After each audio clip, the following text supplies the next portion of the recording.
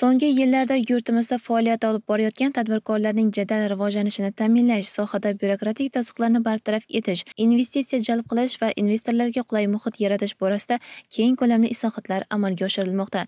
Tuman hokimligida ochiq muloqot shaklida o'tgan uchrashuvda tuman hokimi tadbirkorlarning har biri bilan alohida suhbatlashib, ularning murojaatlarini eshitdi va faoliyatidagi to'siq va muammolarni bartaraf etish, shu orqali faoliyatini rivojlantirish choralari ko'rish maqsadida tegishli mas'ullarga topshiriqlar berib borildi. Shuni alohida ta'kidlash kerakki tadbirkor va ishbilarmonlarning o'z faoliyatlari davomida yuzaga kelayotgan muammolar hamda yangi istiqbolli g'oya va takliflarni qo'llab quvvatlash maqsadida tumanda hokim va tadbirkorlar uchrashuvi o'tkazib kelinayotgani yaxshi samara bermoqda. Tadbirkorlar bilan ochiq muloqot dastlab hududdagi mahalliy tadbirkorlarning murojaatlarini qabul qilish bilan boshlandi. O'z o'rnida tadbirkorlar tomonidan bildirilgan har bir masala tuman tashkilotlari mas'ullari ishtirokida ko'rib chiqilib tegishli tartibda tadbirkorlarga ko'mak ko'rsatilishi uchun chora-tadbirlar belgilandi.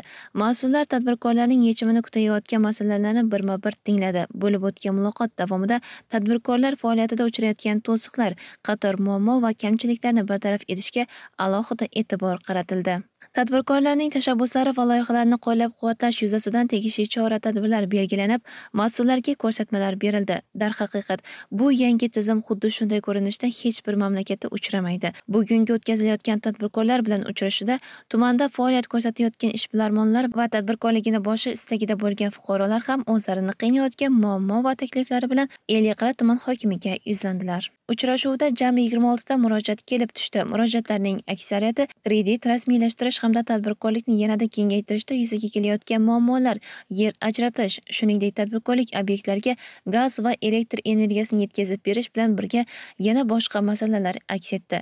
Shu o'rinda aytib o'tish joizki, bugungi kunda mamlakatimizda tadbirkorlarga keng imkoniyatlar yaratilgan. Ushbu yaratilayotgan imkoniyatlar orqali eng avval aholi bandligini ta'minlanishiga va yurtimizni ijtimoiy-iqtisodiy rivojlanishiga erishilmoqda.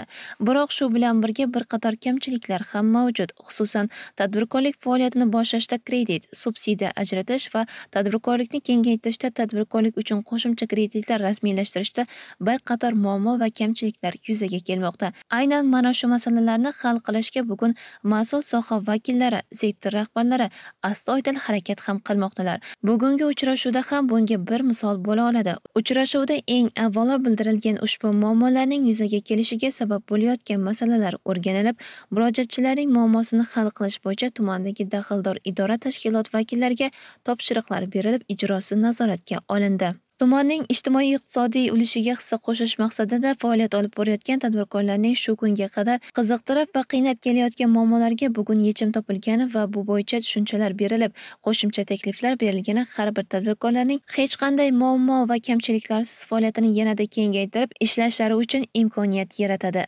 Zero bugungi kunda jismoniy va yuridik shaxslar murojaatlari bilan ishlashning zamonaviy, samarali va ta'sirchan mexanizmi yo'lga qo'yilgani odamlarning bugunidan ishonch ertangi kuniga umid beradi.